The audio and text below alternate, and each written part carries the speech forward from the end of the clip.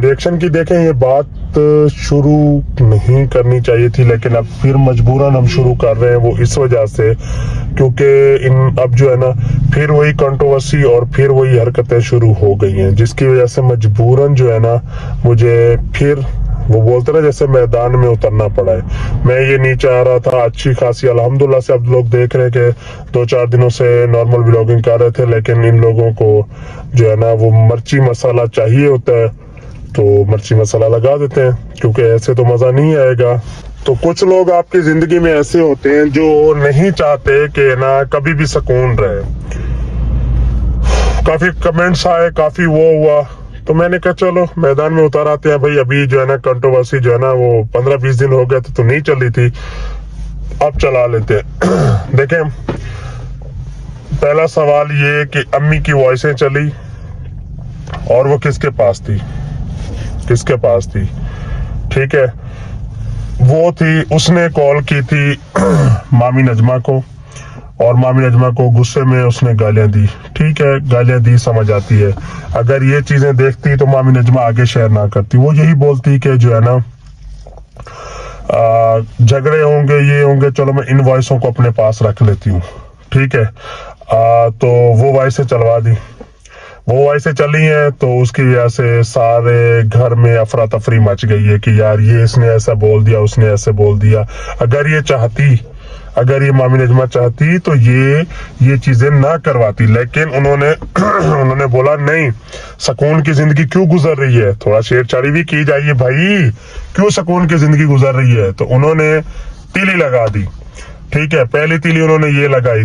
दूसरी तीली जब सितारा पे इल्ज़ाम लगे जा रहे थे कि पिक्चर तो आ, क्या कहते हैं नजमा के पास है तो फिर मामी नजमा के पास तो कैसे शेयर हो सकती है? फिर हम लोग उनके घर पे गए तो उनको जब हम लोगों ने बोला कि आप कसम खाएँ आपने उन्होंने बोला भाई हमने जो है ना मामी नजमा हमसे तस्वीरें ले गई थी उसके अलावा तो हमें पता नहीं किसने लीक की है। अच्छा दूध वाले ने भी यही बोला कि मुझे जो है ना आपकी मामी नजमा ने तस्वीरें भेजी थी और मैंने लीक करवाई है। ठीक है तो हर जगह पे कंट्रोवर्सी ये करवाती हैं। अच्छा जब ये कराची आई हैं तो जो है ना हमारे घर में जो भी माहौल होता था, जो भी घर की बातें होती थी, ये मामी नजमा असगर के साथ हर वक्त रबते में थी। हर एक एक मिनट की अपडेट जो है ना, वो असगर को देती थी और असगर साहब दूसरी लाइवों में चलवा देता था। कभी क्या करवाता था, कभी क्या करवाता था। तो मतलब शुरू से ही इन्होंने कंट्रोवर्सी चलवा के रखी हुई है। मैंने सितारा को एक दफ़ा नहीं बोला, हज़ार दफ़ा बोला, इनसे दूर है इनसे दूर है इनसे दूर है अलबत् मैंने उनको ये भी बोला था, अभी भी जब आ रही थी, मैंने कहा, भाई, इनको नहीं बुलाओ। अभी आप बुलाओगी तो फिर कोई ना कोई कंट्रोवर्सी फिर कोई ना कोई ड्रामा नया चल जाएगा। अच्छी खासी नॉर्मल व्लॉगिंग कर रहे हैं भाई भाई नॉर्मल ब्लॉगिंग करने दो। जब भी जब भी कोई कंट्रोवर्सी चली है तो इनका ही नाम क्यों आता है? सबका नाम क्यों नहीं आता? इसका नाम क्यों आता है? मुझे बताए ना। जब, देखे, जब वो लाइव सलमान और ऐशा लाइव आए थे तो उन्होंने भी लाइव में यही बोला था कि ना, अली के लिए भी हमें उसका, उकसाने वाली यही मामी नजमा इसने बोला ऐसे वीडियो बनाओ तो ये आपको आप जो है ना आपका चैनल चल जाएगा। तो मतलब तो हर जगह पे कंट्रोवर्सी ये करवाती हैं हर जगह पे। इसलिए जो है ना हमारा बोल चाल नहीं इनके साथ ठीक है सिर्फ़ इस वजह से। ठीक है ना ये इन्होंने अभी देखें ये चाहती तो अम्मी की वजह से ना भेजती। ना भेजती आगे के यार आ, ना करवाऊ। नहीं इन्होंने व्लॉगिंग करवा दी, चलवा दी वॉइस वैसे ताकि ये चले, कुछ और आग लगे, और आग जब लगेगी, भड़केगी तो फिर उसका मैं फ़ायदा चलाऊँगी, फ़ायदा उठाऊँगी, क्योंकि इनकी व्लॉगिंग अभी रुकने वाली थी। व्लॉग नहीं चल रहे थे तो इन्होंने सोचा कि नहीं नहीं, ऐसा नहीं, फिर ऐसा कर देती हूँ। तो भाई साहब, बात ये है कि मामी नजमा ने जितना धुएँ निकालने थे, निकाल लिए। और इनका जब तक बस, जितना बस चल रहा है, ये चलाएँगी, ये रिश्तों को तोड़ेंगी भी सही। इनको सिर्फ़ अपने मफाद से मतलब है, बाकी बंदा भाड़ में जाए, मरता है, मर जाए, लेकिन डॉलर आने चाहिए। चाहे कुछ भी हो, डॉलर आने चाहिए। भाई साहब, डॉलर, देखें, डॉलर नहीं रुकने चाहिए, बिल्कुल भी नहीं रुकने चाहिए। कोई मरता है, मरे, कोई जीता है, जिए, हमारे डॉलर आने चाहिए।